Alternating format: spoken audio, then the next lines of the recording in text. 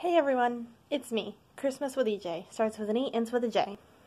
Here with a short video today for you guys on my countdown of 12 days to Christmas. This is video number 7. And like I say, this is just a quick note.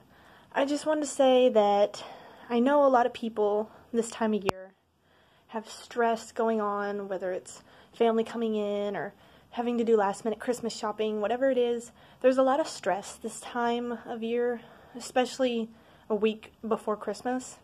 And I just want to say don't let the stress of this time get to you. Don't let it overwhelm you. I know I myself can be guilty of this. So it's just a quick little reminder I wanted to give you guys that don't stress, just relax.